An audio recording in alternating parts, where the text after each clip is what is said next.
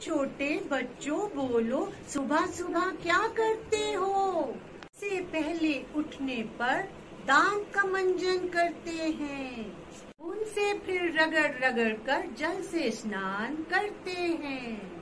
छोटे छोटे बच्चों बोलो, कैसा भोजन करते हो? वो भोजन हो ताज़ा पौष्टिक, वही भोजन ही खाते हैं। जिस पर बैठे मक्खी धूल, उसे कभी ना खाते हैं। ले हुए हाथों से हम भोजन को हाथ लगाते हैं। पहले प्रभु को अर्पित करके बाद में भोजन खाते हैं।